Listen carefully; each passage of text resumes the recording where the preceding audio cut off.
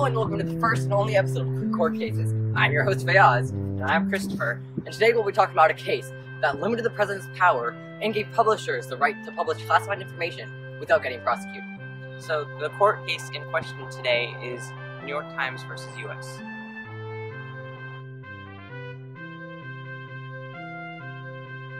First things first, this case took place in 1971 and revolved around the then classified Pentagon Papers. Now for some background. It all started when the Secretary of Defense, Robert McNamara, ordered for there to be a secret study done on the Pentagon.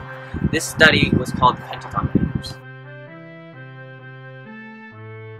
Now, in this document, there are over 7,000 pages loaded with our government's dark secrets about the Vietnam War, ranging from illegal bombings to the use of deadly chemicals. So now this dude named Daniel Ellsberg comes along. He helped write the report, and he sends a total of 43 out of the total 47 volumes of the document to the New York Times. Well, copy them at least, to a guy named Neil Sheehan to publish them. So now our favorite president, Richard Nixon, hears about what this Ellsberg dude decided to do. And then he decides that this puts our nation at risk and legally incarcerates him under the Espionage Act, which states that any disloyal, profane, or scurrilous, abusive language about the form of government in the United States or the flag of the United States or the uniform of the Army or Navy be prohibited. So then a few months later, all that happened in March, the New York Times posts their Sunday edition on June 13, 1971. And this includes their first article from the Pentagon Papers. And then, the government goes crazy. They decide to get a restraining order on the New York Times from posting any more content from the Pentagon Papers, saying it would cause irreparable injury to the defense of the interests of the United States, and wanted to enjoin the New York Times and the Washington Post from publishing the contents of the classified study entitled History of the U.S. Decision-Making Process of the Vietnam Policy. And that is where we get our key question. Were President Nixon's efforts to prevent the publication of Pentagon Papers unconstitutional?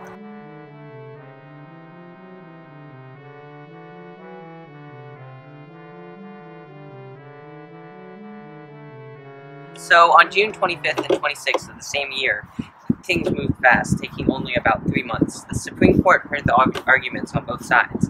The government complained about their security and the violation of the Espionage Act, and the Times reminded the court of the First Amendment, which entitles it to freedom of press.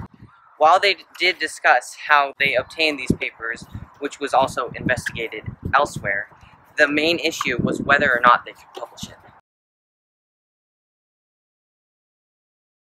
And we're back to find out more about this case. As I told you at the start, the case enforced the First Amendment, so the court ruled 6 to 3 that Nixon's efforts to prevent